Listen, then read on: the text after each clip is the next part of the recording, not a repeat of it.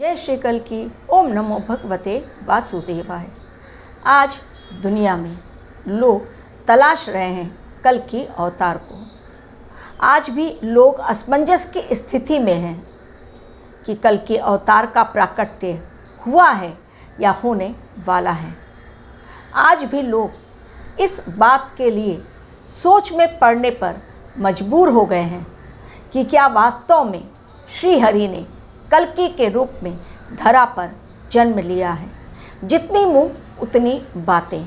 और हर एक के पास अपनी सोच और अपनी सोच के अकॉर्डिंग कल की अवतार का डेफिनेशन लेकिन क्या फ़र्क पड़ता है इससे? श्री हरि को जब उन्होंने जन्म ले ही लिया है कलकी के रूप में और उनके युग परिवर्तन का मिशन उनके अपने यूनिक पैटर्न के अकॉर्डिंग आगे की ओर बढ़ता जा रहा है।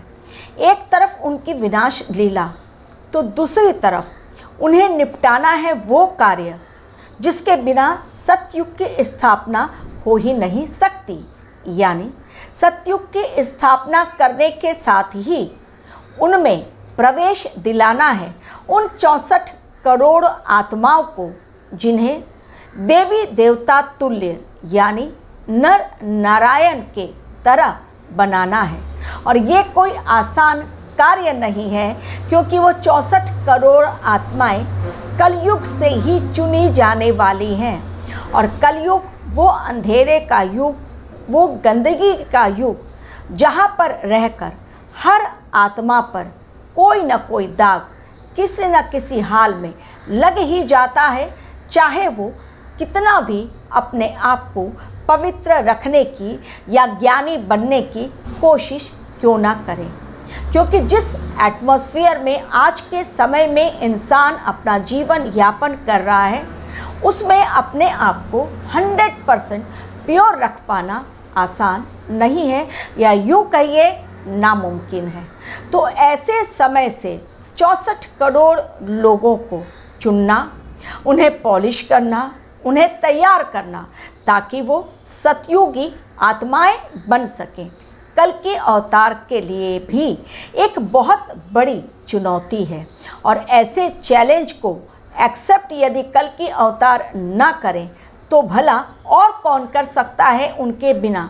क्योंकि उनके ही कंधों पर जब सतयुग को लाने की ज़िम्मेदारी है, तब उनके कंधों पर चौंसठ करोड़ लोगों को पॉलिश करके तैयार करके सतयुगी आत्माएँ बनाने के लिए भी ये ज़िम्मेदारी उनके ही कंधों पर है, जिन्हें वो बखूबी निभा रहे हैं। तो एक तरफ़ उनका चौंसठ करोड़ लोगों को छोड़कर छोड़कर बाकी जो आत्माएँ हैं, उनका खात्मा, उनका यहाँ से उनको विदा करना किस प्रकार से, किस विनाश लीला के तहत होगा, एक तरफ़ तो उनका ये कार्य चल रहा है, लेकिन दूसरी तरफ़ चौंसठ करोड़ आत्माओं को बचाना भी है। कलयुग में नेचुरल डिज़ास्टर्स आते रहेंगे। प्राकृतिक आपदाएँ समय समय पर आकर तबाही मचाएँगी, आतंक मचाएँगी, कोहराम मचा देंगी और लोग त्राहिमम त्राहिमम करेंगे। उन सबसे निकाल कर जब कहीं अग्निकांड, कहीं जल प्रलय, कहीं भूकंप, कहीं आकाशीय बिजली का गिरना, कहीं बीमारियों का प्रकोप, इन सब में उन चौंसठ करोड़ आत्माओं को कैसे बचाना है? और उन्हीं में से कुछ आत्माएँ ऐसी भी होंगी जो जाएँगी भी यहाँ से और पलट कर फिर से इसी युग में वापस आएँगी, क्योंकि ये कर्मों का खेल है और कर्मों के खेल में ऊपर भी जाना है और वापस पुनर्जन्म लेके नीचे भी आना है। तो उन चौंसठ करोड़ आत्माओं को फिर से एक बार रीस्टार्ट करने के लिए उनकी जर्नी सतयुग में। कल की अवतार कर रहे हैं, अपनी तरफ़ से ऐसी मेहनत, ऐसी कोशिश जिसमें कि उन्हें सफल होना है, क्योंकि उनको अनकंडीशनल विक्ट्री उनके नाम ऑलरेडी तय है। चौंसठ करोड़ लोगों को तैयार करने के लिए उन्हें भी काफ़ी मेहनत करनी पड़ रही है। किस प्रकार?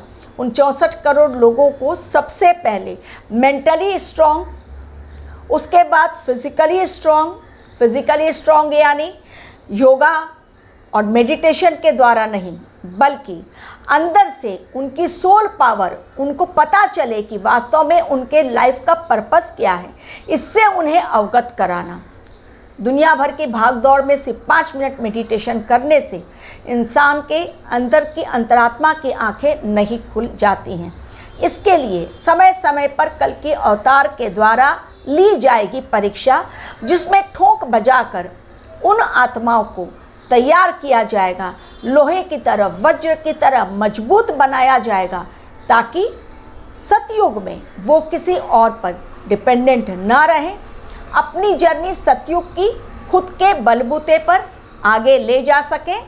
किसी से मदद मांगने के लिए उन्हें ज़रूरत ना पड़े, आत्मनिर्भर बने और खुद उनके अंदर उतनी पावर रहे कि उनके फ्यूचर को देखने के लिए किसी एस्ट्रोलॉजर के पास या किसी पंडित के पास उन्हें जाने की ज़रूरत नहीं, बल्कि उनकी सोल पावर उनकी सोल स्ट्रेंथ उनकी मेंटल स्ट्रेंथ एवं उनकी फ़िज़िकल स्ट्रेंथ इतनी हो कि वो खुद अपने आप से जुड़कर हर चीज़ आँखें बंद की और सब कुछ उनके आँखों के सामने अपने आप ही आ जाए और वो आत्माएँ इतनी पावरफुल हों कि भगवान से जुड़ने के लिए उन्हें तपस्या, उन्हें भजन, उन्हें कीर्तन, उन्हें मेडिटेशन की ज़रूरत ना पड़े और बहुत जल्द वो भगवान के साथ जुड़ जाए। क्योंकि सतयुग में जब ये चौंसठ करोड़ आत्माएँ जाएँगी, उस समय भी भगवान का अस्तित्व रहेगा। तो भगवान से कांटेक्ट करने के लिए आज के समय में जहाँ लोग बहुत समय निकालते हैं, ऋषि मुनि चले जाते हैं जाकर वो ज्ञानगंज में तपस्या करते हैं, हिमालय पर्वत पर पहुँचते हैं। सतयुगी आत्माओं को इन सब बातों के लिए इंतज़ार करने की आवश्यकता नहीं। बस आँखें बंद की, पाँच मिनट शांतिपूर्वक बैठे और जुड़ गया उनका कनेक्शन उनके आराध्य के साथ, जिनके साथ वो जुड़ना चाहते हैं। लेकिन ये जो शक्ति है, ये जो पावर है, ये जो मेंटल स्ट्रेंथ है फ़िज़िकल स्ट्रेंथ है सोल की स्ट्रेंथ है इनर पावर है, बड़ी आसानी से अचीव नहीं होता है। और इसे कैसे अचीव करना है? ये कल के अवतार समय समय पर संदेश देते रहेंगे उन चौंसठ करोड़ आत्माओं को, जिन्हें पता नहीं कि वास्तव में उनकी जर्नी इस युग के बाद सतयुग में जाने की है। ये तो सिर्फ़ और सिर्फ़ कल के अवतार को पता है कि कौन सी हैं वो चौंसठ करोड़ आत्माएँ जो सतयुग में हिस्सेदारी करेंगी, सतयुग के मेंबर्स बनेंगी, सतयुगी सोल्स बनेंगी।